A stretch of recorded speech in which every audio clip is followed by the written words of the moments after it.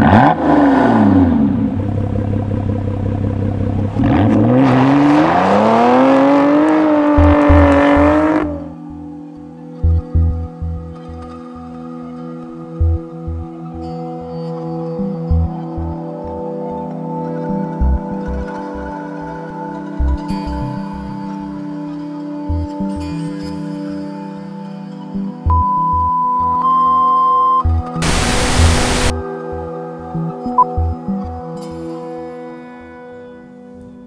gunshots just when you did that as well. Hear the gunshots in the background. in the hail of gunfire, we're reviewing this Opel Insignia. Keep your head down. Where's your flak jacket? I want a UN thing or a press badge or something on me. There is gunshots going off the whole time. Uh, this is the Opel Insignia, uh, and I know it's a refresh of the model. It's a, a, a, redesign to some degree, and there is a lot of updated stuff. And the thing is that there is a lot done to it. And the most important part is that this is a diesel one, unlike my last outing with the Opel Insignia, which was a 1.4 petrol, and I didn't think it was really up to what it should be able to do. This one is an entirely different car, 20-inch alloys, and basically every piece of kit that Opel can throw at the car. So let's have a look inside and see what we can find out. So as you can see, the interior of the Opel Insignia has become totally different. Where they once went with a kind of a shotgun approach along here just to throw buttons on it, now they've got a much more logical approach to the whole thing and a lot of it's electronic as well. You can see the wings and things that are on the outside of the car are reflected in here and there's a lovely long line that starts here at the doors and works its way all across the dashboard. It does make some parts of the dashboard a little bit redundant because the passenger side isn't flat, it's rounded, so everything falls off it. But starting it, there is a key uh, with an actual key on the key, you know, one of them, uh, but there's no actual keyhole, none at all. You press a button here and the whole that starts up. As you see, it's all electronic now, so we have an electronic dash and this thing, the IntelliLink, and I have uh, the um, electronic dash here in front of me as well, which has everything you need on it, is all here. The only one that really stands out as being a problem are these temperature gauges. The touchscreen bit of that to change the temperature, as you can see I'm pressing the colder button and it lags behind me quite a bit, quite a bit. And it can get kind of frustrating, especially when you're driving. As you can see I'm trying to make it warmer now and it just won't. It won't go, it's stuck at 18 it's very frustrating when you're driving along. This needs to go, that needs to be turned back into a knob, a switch, a button, something proper to press because again, I'm stuck here at 18 while the car is booting up. And that's the problem with electronics. Electronics, as we all know from computers, whether you're a Mac user, a PC user, a phone user, whatever it is, some point or time it's going to lag behind you. And that is the issue with that. It is actually lagging as the rest of the car boots up. On top of that, we have um, this screen up here at the top, which allows me to have sat nav, which as you can see is booted up already. We're in the middle of nowhere in the Curragh.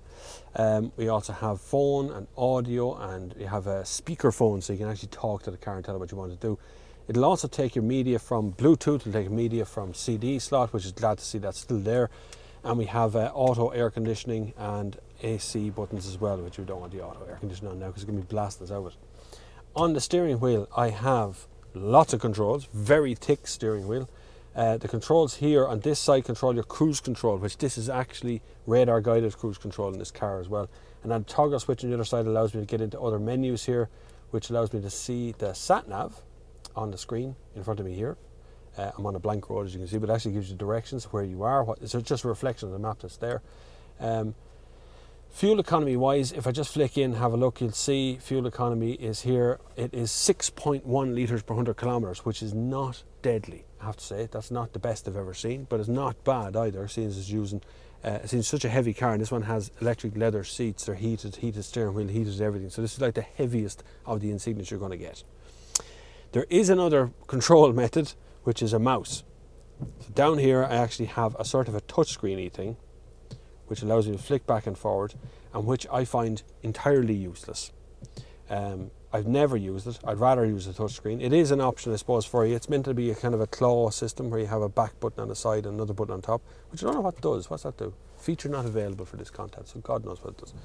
Um, but the touchscreen allows you to be able to move this mouse around thing here, which you can touch then to make it work. You actually press the whole thing down.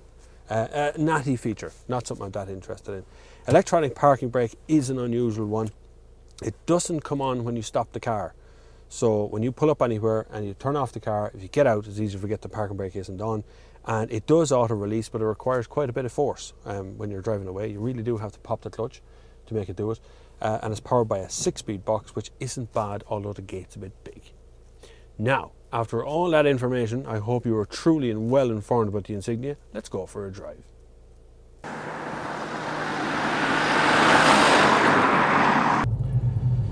So to drive the Insignia hasn't changed all that much. Uh, it's still a very comfortable, executive feeling car. And comfort is a very big feature of the car because it is on a long journey insanely comfortable to drive this car. Um, another cool fact is that it has cruise control that's radar guided. So it's kind of called active cruise control. They've all got a name for this cruise control, but basically it amounts to being radar guided to any other metal object that's in front of it or any other object that's in front of it in general. And it's very easy to set. You set it like normal cruise control. So I know the speed limit along here is 80 kilometers an hour because I can see it in the signs. But in case I don't see it in the signs, it actually says it in the dashboard in front of me as well, just in case you missed the last one. Um, and to set the cruise control, you just press set, and I set it to 80 there. And you see there's an Audi in front of me. He may not go 80, but we'll do it and it tells me to shift up on the dashboard when it wants to change gears. So that's how it deals with it not being an automatic. But if he slows down at any point in his journey, the car will slow down to suit him. Now, it takes a bit of faith, a little bit. Uh, it can cause a little bit of panic in your brain when it starts to slow down first. But actually, it's driving the way we should be driving. It's driving correctly. So it slows down to match the speed of the car in front of it, and then speeds up when it's time to overtake. Brilliant on a motorway, not so hot in town. It's always asked to change gears, it's always running out of power. Uh, it was never meant for town, it's meant for a big, long Autobahn motorway drive. Thankfully, uh, Leah Carroll's in the back seat there. She is. She, I had no choice. She's there. She's watching over my shoulder, make sure I'm not doing anything stupid. Because I'm usually doing something stupid. The car's brought us down to 80. As you can see now, it's speeding back up a bit. It's matched the speed of the car in front of me. So it's actually just sitting there. And as he goes into we're just moving into Kildare town. So as he gets into the town speeds, we get to drop his speed, the car will actually ask me to do the same thing. It's very clever. There is a lane keeping system on the car as well, but you in lane. It doesn't nudge the steering wheel, it just bings and bongs when you get over to the edge. Now you see the car has slowed down to match the Audi speed. We're doing 74 kilometers an hour. I can feel the car slowly kind of speed up and slow down to try and match his speed because his, his speed is changing all the time.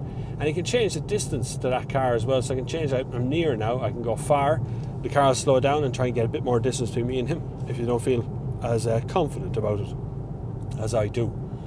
It's a good system, it's a decent system. Um, it also has a standard collision detection, which means that even if that's not turned on and somebody brakes too hard in front of me, the car lights up. It just bing, bing, bing, bing, bing to warn you that he's, he's after braking more than you think. Technology wise, there's no doubting that Opel is right up there with all the rest. The key for Opel is that it's, I think it's attempting to compete with the likes of Mercedes, Audi, uh, uh, BMW. It's, it's trying to compete in that zone, and that zone is heavily dominated by brand names. It's a bit like some sort of, I don't know, a, a, Japanese manufacturer of washing machines trying to compete here with a big brand name like Zanussi or, you know, Hoover or someone like that that are already hugely established and are trying to break into that zone. There's no doubt that this is a very good company car. It's also a very capable family car, although there is a problem in the boot. It's been there for a long time it's the suspension arms actually kind of stick up and create a sort of a shelf in the boot. When you're trying to put something flat in, it is a bit of a pain. It's not quite a flat floor back there. Overall, this is a remarkable difference between the last Insignia I drove and this current model, this current refresh one. It is Opel have done what they should have done all along. They've made the corrections, they've listened to the criticism, They've made the changes. They've listened to people like me and motor journalists around the world saying what they think should be changed in the car. I'm surprised they don't often listen a, a little bit more.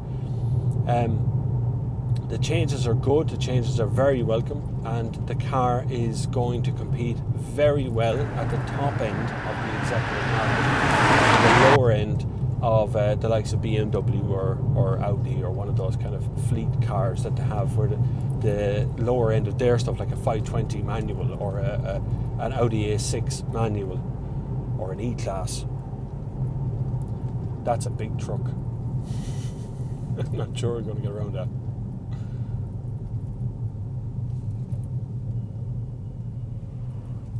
It's a big truck with uh, an indicator on to the left. I'm just going to. He's just going to stop there and pull up here in the middle of the road.